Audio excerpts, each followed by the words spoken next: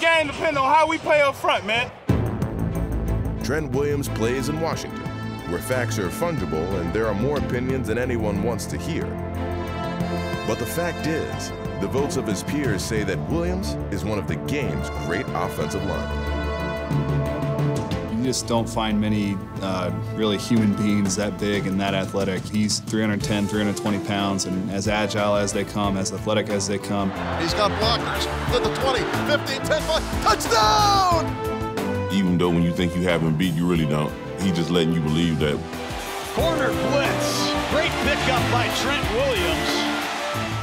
His hands are so good, it's almost something like a boxer.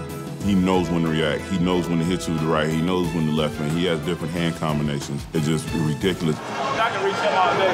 98. 98. I can reach him. I can reach him. I'll reach him. I think one play that speaks to his athleticism, you know, we played the Packers in 2013 and he was lead blocking for Pierre Garcon. He was running stride for stride with him and then just absolutely leveled the guy that he had to block. And you see his combination of power and speed and it's just nightmarish for defenders. I love the way he plays because he doesn't take from anybody.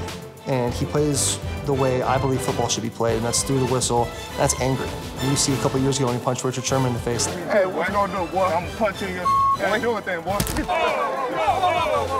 That's the kind of stuff that some people would be like, oh, he's bad character. I'm, I, that's a guy I'm drafting. Williams had spent his entire football career at tackle until week three of 2016. He's back on the top 100 thanks in part to a seamless mid-game move to left guard, brought about by Redskins injuries. We already know what type of athlete he is, but he's an even better teammate. He could have easily told the other guy, no, you go play guard. I'm an all-pro.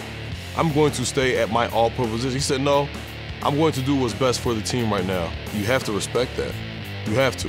If you move to guard and he understand that position, I believe he'll be the, the best guard in the NFL.